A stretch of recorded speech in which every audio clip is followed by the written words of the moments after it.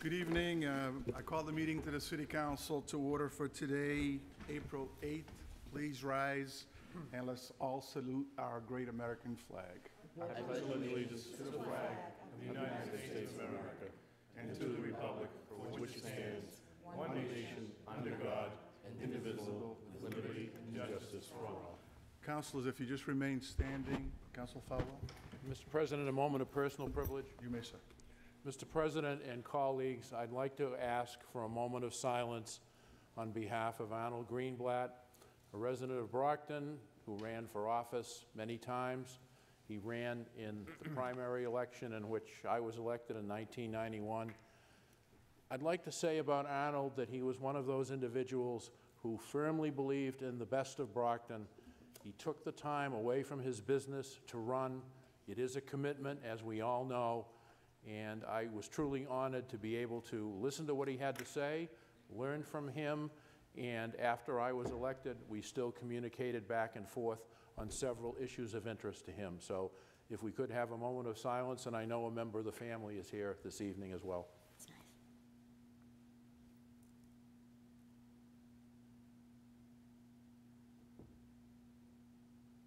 Thank you, Mr. President.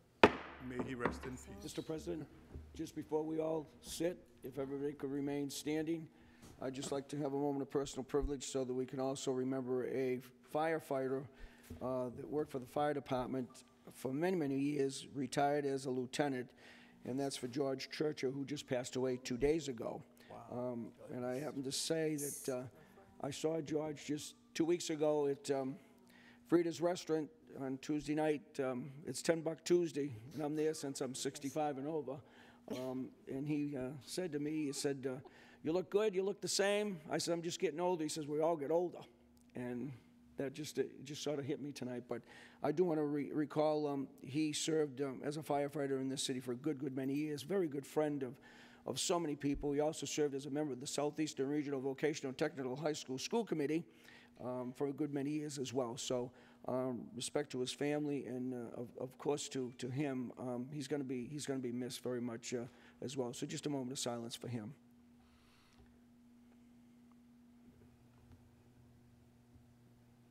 Thank you, Mr. President. Mr. President, Rest in peace. I hate to uh, add, bad news comes in threes, but I'd like to ask for a moment of silence. You may, sir. Uh, Dick Lewis, who served the uh, city for many years on the Brockton Housing Authority, he was the chairman of the board when I became a board member there.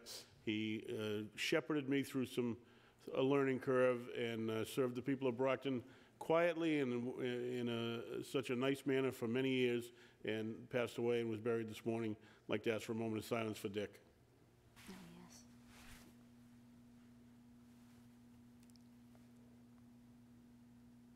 Thank you. May he also rest in Yeah. peace. Yes, it Anything does else, come. councilors? Mr. Clerk, item number one, please. We have the acceptance of the minutes of the March 25th, 2019 council meeting. Accepted and placed on file.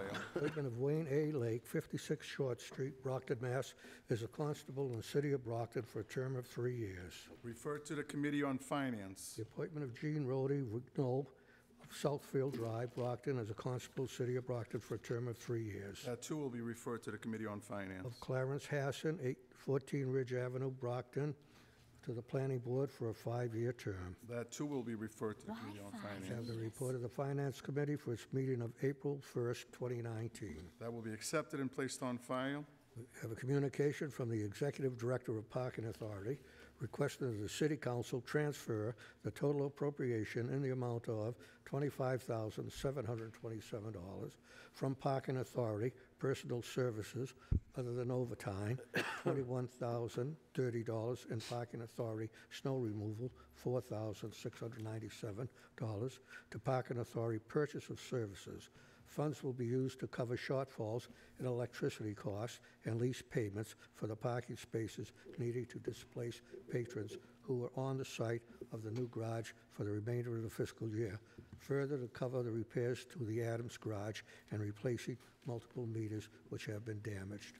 That will be accepted and placed on file. The mayor recommends the same. That too will be accepted and Chair placed on votes file. relative to the same. And also accepted and placed I on have a file. total appropriation of $20,000 from information technology full-time to information technology overtime in council, March 25th, 2019. Ready to refer the Standing Committee on Finance. That report was favorable. The question is on adoption by roll call. Madam Clerk, please call the roll. Asack? Yes. Beauregard? Yes. Cruise? Yes. Derenoncourt? Yes. Eaniri? Yes. Farwell? Yes. Lally? Yes. Monahan? Yes. Nicastro? Yes. Rodrigues? Yes. Sullivan? Yes. 11 in the affirmative. The order is adopted. A total grant award in the amount of $174,189.43 from the Executive Office of Elder Affairs, Fiscal 19 Formula Grant, to City of Brockton Council on Aging, Fiscal 19 Formula Grant Fund, and Council, March 25th, 2019. Read and refer the Standing Committee on Finance. That report was favorable. The question is on adoption by roll call. Madam Clerk, please call the roll. Asack? Yes. Beauregard? Yes. Cruise? Yes. Derenoncourt? Yes. Eaniri? Yes. Farwell? Yes. Lally? Yes. Monahan? Yes. Nicastro? Yes. Rodrigues? Yes. Sullivan? Yes. 11 in the order is adopted. Acceptance and expenditure of the total grant funds in the amount of $6,240.03 from the Executive Office of Public Safety and Security Office of Grants and Research Highway Safety Division, fiscal 19 Traffic Enforcement and Equipment Grant Program to City of Brockton Police Department, fiscal 19 Traffic Enforcement and Equipment Grant Program. In council, March 25th, 2019. Reading referred to Standing Committee on Finance. That report is favorable. The question is on adoption by a roll call. Madam Clerk, please call the roll. Asack? Yes. Beauregard? Yes. Cruise? Yes. Derenoncourt? Yes. Eaniri? Yes. Farwell? Yes. Lally? Yes. Monahan? Yes. Nicastro? Yes. Rodrigues? Yes. Sullivan? Yes. 11 in the affirmative. The order is adopted. Acceptance and expenditures of additional grant funds in the amount of $98,938 from the Executive Office of Health and Human Services, fiscal 19 Safe and Successful Youth Initiative Grant to City of Brockton Police Department, fiscal 19 Safe and Successful Youth Initiative Grant Fund, in council, March 25th, 2019. Read and referred to the Standing Committee on Finance. That report is favorable. The question is on adoption by roll call. Madam Clerk, please call the roll. Asack? Yes. Beauregard? Yes. Cruise? Yes. Derenoncourt? Yes. Eaniri? Yes. Farwell? Yes. Lally? Yes. Monahan? Yes. Nicastro? Yes. Rodrigues? Yes. Sullivan? Yes. 11 in the affirmative. The order is adopted. Ordered that the common necessity and the convenience of the inhabitants of the city of Brockton require the laying out and acceptance of Cypress Drive, extending from Rockland Street easterly and northerly, a distance of about 1,402 feet, more or less, and for that purpose, it is necessary to take an easement for highway purposes and lay out as a public street away of said city of Brockton. That will be referred to Finance and Planning. Ordered that the common necessity and convenience of the inhabitants of the city of Brockton require the laying out and acceptance of Rock Meadow Drive, extending from Rockland Street easterly, a distance of about 1,200 feet more or less, and from Rock Meadow Drive northerly, a distance of about 310 feet more or less, and for that purpose, it is necessary to take an easement for highway purposes and lay out as a public street off way of city, of said city of Brockton. That will be referred to the Committee on Finance and Planning. Ordered, a copy of all legal documents executed between the city and the Brockton 21st Century Corporation related to the transfer of control for these properties to the city, and the outstanding promissory note signed by the corporation be provided to the city council. A, number one, a summary of all outstanding contractual agreements, outstanding invoices for services of goods, and any liability which was the responsibility of the Brockton 21st Century Corporation, and which may now be incurred by the city, be provided to the city council. Two, if payments from the public funds have been made for change- charges formally required of the corporation, such information shall be provided to the city council. Three, Documents and information requested shall be provided within 14 days of the date of this order. That will be referred to the Committee on Finance. On number 16, order, oh. the caption above it should be on that council agenda, just above the language of the order, should, should state the Russell Lopez case. And that is that the law department provide copies of all decisions issued by any court for appeals filed by the city or the plaintiff, and copies of any pending appeals, motions, or other filings submitted. Two, that pursuant to Mass General Laws, Chapter 30A, Section 21, an executive session be scheduled to discuss the continued pending litigation in the Lopez case and related information. Three, that a complete, up-to-date summary of all funds expended by the city in this litigation be provided to the city council. With respect to the documents requested, they shall be provided to members of the council no later than 14 days after the date of this order. That will be referred to the Committee on Finance. We have a total appropriation of $25,727 from the Parking Authority Personal Services, other than overtime, $21,030, and Parking Authority Snow Removal, $4,697, to Parking Authority Purchase of Services. That will be referred to the Committee on Finance. We have a resolve to invite Patricia Monteith to the Brockton representative for the Mass Memories Roadshow to be held at the Brockton Public Library on Saturday, May 18, 2019, to inform the public and the city council as to how to participate in this one-time only opportunity to preserve the Brock- Brockton history. That too will be referred to the Committee on Finance. Resolve to invite Steve Grossman, CEO and ICIC Initiative for a Competitive Inner City, or his designee, to inform the public and city council of this new program and how individuals in this city could take advantage of this economic development opportunity. That too will be referred to the Committee on Finance. All items on this agenda are available in their entirety in the city clerk's office for all interested parties. Thank you, Mr. Clerk. Uh, Councilors, I know we have a couple late files. Uh, Councilor Eaniri. If I might, Mr. Mr. President, I'd like to motion to accept the late file. Second. Motion has been made and properly second. All those in favor? Aye. All those opposed? Please And proceed. the clerk has the late file. Brave Act. Yes, please. Late file is a communication from the mayor requesting the city council accept Mass General Laws, Chapter 33, Section 59, in relations to the Brave Act. That will be referred to the Committee on Finance. Okay. Oh, is that, that was the communications? or- Yeah, these two communications. All right, well, accepted and placed on file. Communication from the CFO in accordance with Section 5 of Chapter 324 of the Acts of 1990, certifying acceptations of Mass General Laws, Chapter 33, Section 59, in relation to the Brave Act. Accepted and placed on file. Ordered that Mass General Laws, Chapter 33, subsection 59, be accepted by the City Council. Said section of general laws is relative to public employees not to lose pay or services in the armed forces. Paragraph A, B, C, D, E, and F, which councilors you have received in its entirety, also known as the Brave Act. Now, this will be referred to Hey. finance.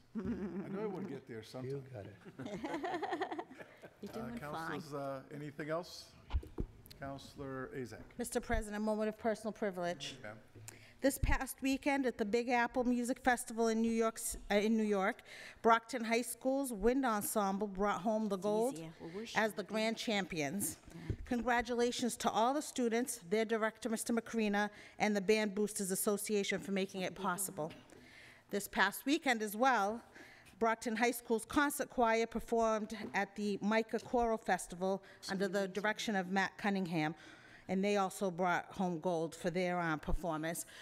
I just want to let them all know we're so very proud of them. We have a bunch of talented uh, students, amazing directors and uh, teachers, and a a really great parents that support them. Thank you. Um, And another moment of personal privilege, on, besides the art, um, this Saturday, April 13th, is Keep Brockton Beautiful Day. And as everybody knows, every year, it's the biggest cleanup day for the city of Brockton. So um, it's April 13th, registration starts from 8 AM to 9 PM at Heights Crossing, which is 27 Christie's Place. Everyone gets a free T-shirt and a cookout at 12 noon after the cleanup is done. Uh, We're looking for a lot of volunteers. You can contact the recycling department, um, Pat at the recycling department at 508-580-7827, or the mayor's office to get more information. But I hope uh, people will take advantage of this, come out and help us really make Brockton beautiful. Thank you. Thank you, Counselor. Counselor Sullivan. Mr. President, uh, two moments of personal privilege, please. You may, sir. Just to kind of follow up uh, on Counselor Asack, um, Brockton High School Drama Club uh, just prevailed. They're the state champions at the Massachusetts uh, Drama Festival in Boston. And uh, I want to thank uh, Bob Hogan, who's the director, Carol Thomas, the assistant, and Elaine Kelly, more importantly, the boys and girls. Uh, Because in 1988, I went to the States and we lost. So I know those kids are having a great, great time. So uh, kudos to them. And then getting back to business relative to the ordinance committee, originally last week I announced it would be May 1st here at 6 o'clock. It'll be a week later, May 8th, Wednesday, May 8th, 6 PM here in the chamber for the ordinance committee. There'll be one agenda item. Thank you. Okay. Uh, Thank you, uh, Counselor. Counselor Nicastro, followed by Thank you. Beauregard. Thank you, Mr. President. Good evening. And I just want to let everyone know that on this Wednesday, April 11th at 5 PM, the City Council Real Estate Committee will meet in the committee room here on the second floor of City Hall. We have three matters on the agenda, and all are welcome to attend this meeting. Thank you. Thank you, Counselor. Counselor Beauregard. Thank you, Mr. President. I have uh, two things myself. Um, I'm wondering, like many others, where's our new website? It's Just- coming. Okay, well, so are a lot of things, Yeah, yes. Actually, Counselor, you Yep. know, there's an individual in this body that's holding the whole thing up. Really? Sitting between Counselor Asack and Counselor Farwell. I'm not going to name names, but that's Okay, who, uh, right. who's kind of holding it up. Okay, thank you. And the other, if, if I might comment, um, as, as many of you are, are glad that you live in the freest nation in the world, and though uh, it's not perfect, we're very grateful that such a group exists as the ACLU. But I must say that this weekend I was extremely disappointed to see this quote because I am very grateful that our colleagues and as a council we passed a panhandling ordinance. And let's just say that the situation of those that are challenged financially and otherwise is a world problem, a, a- nation problem, a state problem, and a community problem. And it just seems that, no, the city uh, has its quota and much more when it comes to affordable housing. And I believe um, that uh, everyone needs to look back, and I just hope that um, the, the quote in the, from the ACLU representative uh, to revisit that. No, it's everybody else that needs to cut to the table and start addressing uh, the affordable housing situation and other uh, needs. Because we are the only city in Plymouth County and we are doing a remarkable job, but it's time for other people to step up because this is larger than all of us. And uh, we want people to be safe that go to the ATM machines. We want people to be able to drive down the streets in this city and not be accosted by individuals pounding on the door of their windows of their cars asking for funding. And uh, thank you again, Council, for supporting such an ordinance. And I hope that uh, we'll be able to resolve this issue to make it better for the businesses and those that reside in this community. Thank you. Thank you, Counselor. Uh, Any, anybody else? Counselor Monahan. Moment of personal privilege. May, sir. Uh, Again, I wanted to announce, I hope one of those moments will be, I'm going to go take a picture for the website. they can't get a good one. Anyway, um, thir- next Thursday at April 18th at 6 PM, I will be having a ward meeting at George's Cafe. We can have the mayor, the police chief, city planner, uh, school committee woman uh, Lisa Plant, so it'll be a full agenda. So it's next Thursday, the 18th at 6 PM, George's Cafe, and there will be pizzas served, so come on down. I adjourn the meeting.